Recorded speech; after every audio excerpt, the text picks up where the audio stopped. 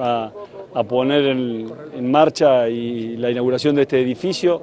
eh, tan emblemático para la ciudad de Mendoza que estuvo tantos años eh, abandonados y bueno, por decisión del gobernador eh, Paco Pérez y bueno, y, por el ministro del área, por, Diego Martínez Palado y por la buena predisposición del gobierno nacional, hoy funciona el Ministerio de, de Transporte. Yo decía, esto es un símbolo del Estado que nosotros queremos, de un Estado inteligente, activo, que proteja sus bienes. bueno, hemos repasado temas vinculados a, a la puesta en valor del servicio ferroviario, tanto de cargas como eh, de pasajeros. En cargas estamos haciendo tres obras eh, muy importantes, eh, de Alto Verde a Fray Luis Beltrán, ahí ya tenemos ejecutado de los 33 kilómetros ya el 33% de, de, la obra, estamos ya adjudicando en los próximos días desde Luján de Cuyo hacia Palmira, otros 33 kilómetros, y el circuito Guaymallén. Y yo le señalaba también que estamos desde el Gobierno Nacional llamando a licitación para 298 kilómetros de vía que van desde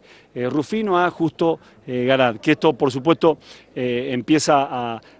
poner eh, blanco sobre negro en relación a la posibilidad de que vuelva el tren de, pasajeros a, Mendoza. Hoy, y lo digo con mucho respeto y sin generalizar, muchos dirigentes políticos de la oposición expresan más los intereses de grupos económicos eh, y corporativos mediáticos que los intereses de sus partidos que le dieron origen a cada uno de ellos. Nos conformaríamos con que, por ejemplo, la oposición acompañe esta modificación del Código de Procedimiento Penal que ha enviado la Presidenta de la República hace 48 horas atrás para mejorar la seguridad ciudadana, que es una preocupación de todos. Yo voy a ser candidato a presidente dentro del Frente para la Victoria en las primarias abiertas y simultáneas que se van a desarrollar el próximo año.